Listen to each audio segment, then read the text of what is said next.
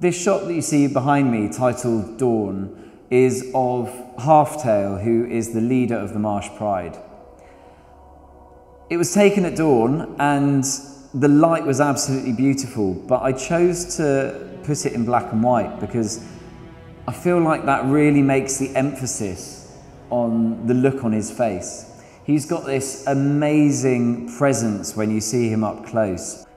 Although you can see he's obviously very relaxed, he still has this air of dominance. He looks incredibly proud and like he is completely untouchable.